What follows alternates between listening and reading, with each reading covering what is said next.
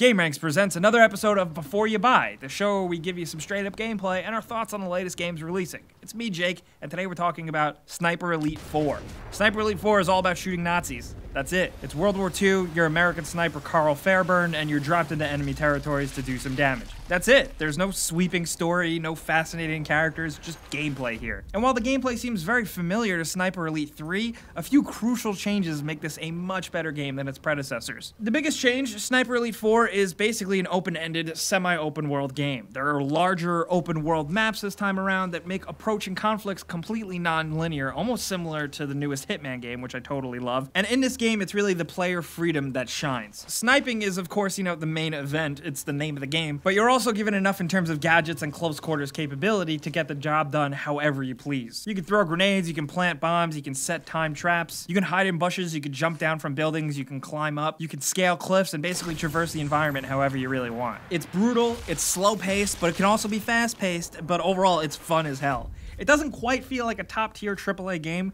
It's a bit more, you know, low budget, but it really won't matter when you're playing. The game has eight campaign levels that are honestly extremely lengthy. Each campaign level is markedly different. It is basically its own little self-contained open world. And like I said, those campaign missions are extremely lengthy. You can spend like two hours in one of these campaign levels. The game drops you in with vague circles on your maps as like a rough guideline of where to go, and then the rest is completely up to you. If you're into these type of stealth games, maybe if you really liked Metal Gear Solid 5, this will be your jam. It's all about sitting around, plotting out, using your binoculars, seeing the guards, and then planning and taking your approach. But then, of course, there's always the circumstance where things can go wrong, and then you gotta shoot your way out. If you get seen, you can also run away and hide, and that's where the AI is probably not as realistic as you would expect. But otherwise, artificial intelligence is improved from the previous game. While you're running around the map, there are also side objectives that are pretty basic, but they do gain you a lot, and thankfully, they are kind of varied between the levels. And they're just a slight step above feeling like dumb busy work that it basically is, but it's still fun to tackle them. But I gotta say, the Italy setting is the most welcome change because, you know, honestly, it's an area not explored as often in popular World War II media. And thankfully, the game also manages to make each of the eight maps look and feel pretty different from cities, small towns, plains, coastal areas, mountains, and different times of day. But like I said in the intro, if you're coming for story, you shouldn't really bother. Karl Fairburne is just a generic soldier sniper man,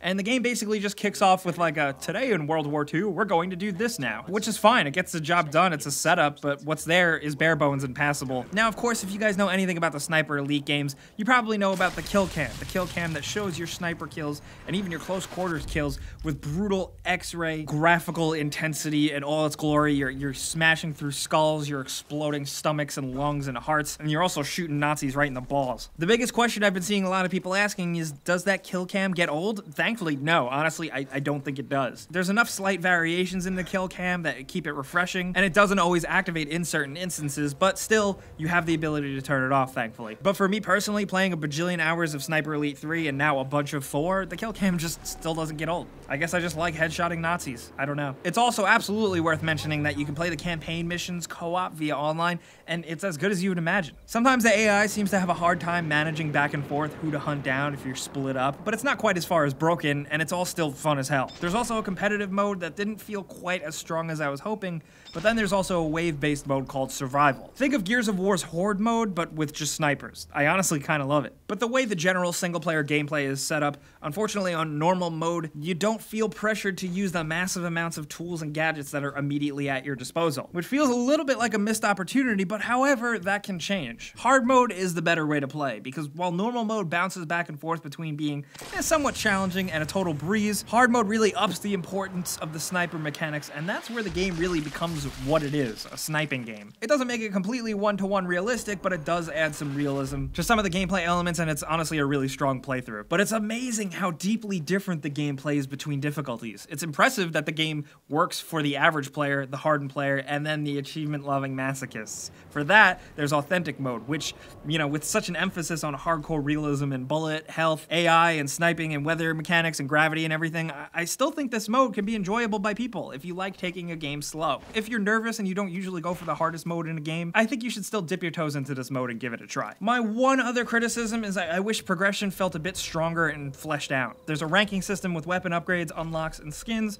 but it all just still feels very on the back burner. In certain games and games like this, I like to feel more of a stronger sense of progression. But besides that, if you like open world stealth, shooting, and some solid sniping mechanics, this is a game that's going to keep you busy for a long time. While it's very simple, and to some people it may seem one note, that sandbox gameplay is strong and fun as hell. The gameplay will make even some of the more careless players methodical players overnight. But ladies and gents, that's Sniper Elite 4. You know how before you buy works, I'll give you some pros, some cons, the setup, and then my own personal opinion thrown in there as well. So now I want to hear yours down in the comments. What do you think about Sniper Elite, especially since it's always been kind of a budget game series? Between 3 and 4, it's really been coming into its own. I, I want to know what you think. If you're a veteran of the series, how do you feel about 4? And if you've never played these games before, what are you thinking? You gonna try it? I think most stealth game fans will find a lot to like here, but that's just me. If you have any more questions about the game, I'll be down in the comments as much as possible, and I'll also be on Twitter, Facebook, and Instagram at Jake Baldino as well. But you guys know the deal. Clicking that like button helps us out a ton. We really appreciate it. And subscribing if you're new is a good idea because we put out videos every single day. But as always, thanks for watching, and I'll see you guys next time.